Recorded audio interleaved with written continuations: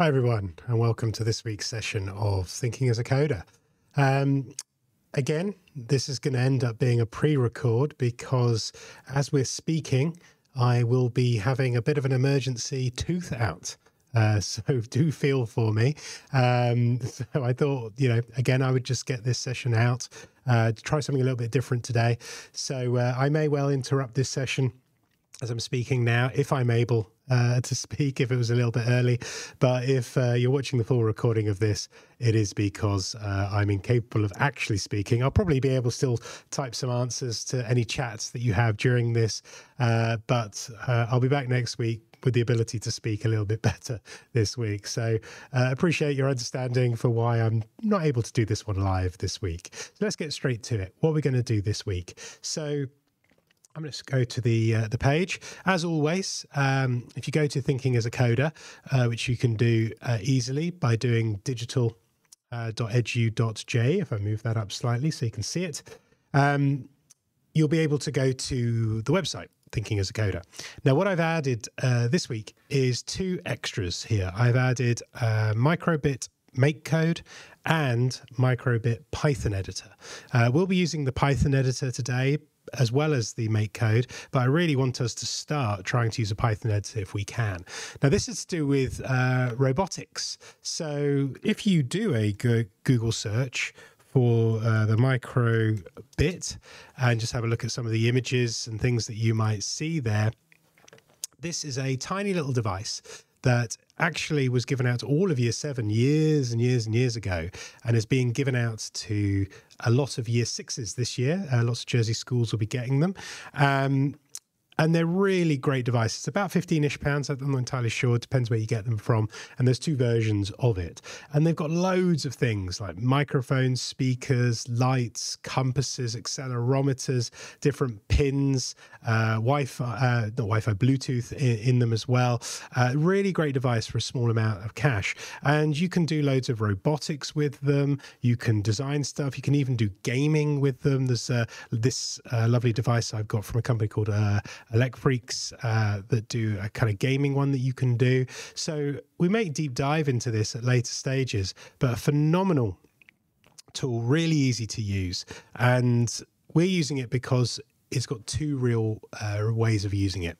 And if you click first on the make code link, and you can even type in uh, makecode.microbit.org as well, or just click on that link uh, that you've got there, it will take you to this homepage where there are lots of tutorials about how to use it and you don't even need the microbit itself. Just actually trying to see if i've got one on the desk. I've been building in fact uh, an entire uh, run of them. In fact uh, if you if i drag this in from the other page uh, i've made this um, stack for schools in the island that have got the set of 30 and uh, that's the microbits there and uh, yeah i've got this as a laser cut example so really easy to use, but you don't need a physical device. Like right now today, when we click on new project, and you might just want to call it test for your first one or my first project, it will take you to this uh, instruction page. Again, it will give you loads of instructions for a tour.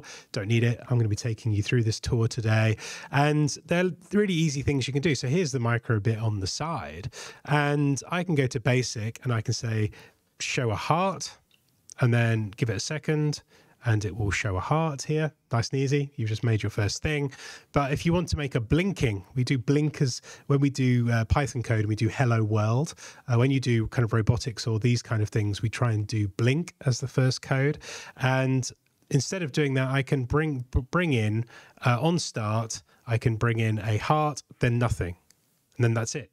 Or I can drag it in here to forever to make a loop, as we've talked in Python before. And we can see here that we've got a blinking heart. Now, it's not the best blinking heart in the world because we should really define the time in between. So I should go to basic and I should drag in a pause here. And I can drag another one or right click and duplicate. And I can drag another one in here. And then that's got my heart and it's got the uh, blink of 100 milliseconds, which is a tenth of a second. A thousand milliseconds is a second. Uh, we could make a smaller heart here, actually, like this. and it could be like a beating heart, not the best heart in the world there, but you'll get the point here. That's like my beating heart almost, probably a better version of that that you could do. Um, but why this is good is this is the easy one called make code, um, which allows you to do this drag and drop. But and so have a go and feel free to uh, have a go at those um, instructions that we are having go before. But we're trying to learn coding so you'll see here at the top where we've got blocks, we can drag that down and choose Python. Or you can see what it looks like in JavaScript, another language. And that is what this code, if I zoom into that now, that's what this code looks like as Python. So you might go, well, do you know what? It's easier to use blocks.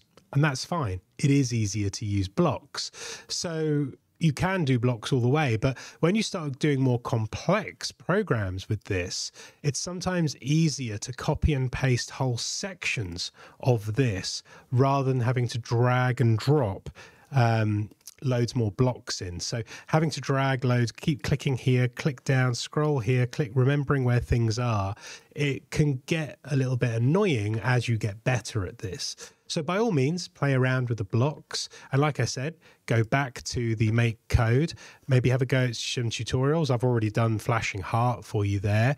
You've got name tags, smiley buttons, dice, uh, all these different uh, things that you can do here are some really complicated ones like a pet hamster, um, a cat napping. It's got temperature sensor, light sensor in it. So loads of different things you can play around with, as well as all of these examples that we have here. So we could get really deep dive into this. But the purpose of today's session is looking at Think as a Coder is actually using the Microbit Python editor. Because while this editor's okay to do Python, it's not the easiest to use. What is actually the easiest to use is the full on Python editor. So if you click on that, and again, you could type in straight away python.microbit.org which will take you straight to this editor. I'm just allowing the cookies here. There's again an explanation of video of how to use this, but in today's session, I'm going to take you through that. So while we've got this uh, concept here, which looks very similar to what we had before, and again, we can press play to get uh, a heart, then a sleep, as it says here. If I scroll in or zoom into this a little bit more, and then it says hello. So we're going to go through how we would do different items uh, for this. But the reason why this Python code editor is better is because when we click in this area, we can drag in blocks of code, which makes this really a lot easier to use. So if I want to do some loops, I can come in here and look at that. That's got my loop straight away uh, within it. Uh, so it saves me having to write things in pure Python like I would if I did this one. So if I go back into my test and go to the Python version here, I'll have to write all that out manually rather than using the Python blocks that I've got in the Python editor. So they do the same job, but one's just a little bit easier than the other. So I'm going to go to uh, cut now to a, a video that I've pre-prepared for this using the Python Python editor. Um, but again, like I said, think of me with my tooth uh, that I'm going to have out. Uh, a bit of an emergency, so uh, it's a bit of a shame. I'm not looking forward to it tomorrow, which is now for you. So I'll be uh, I'll be there having that done now, laughing about it now, but probably not while you're watching this video. So watch the video, have a go as I'm going through as always. Like I say, it's likely that I'll be able to chat, uh, just not speak as you're doing this. So I'll see you next week live again. Follow the rest of this video. Thank you very much.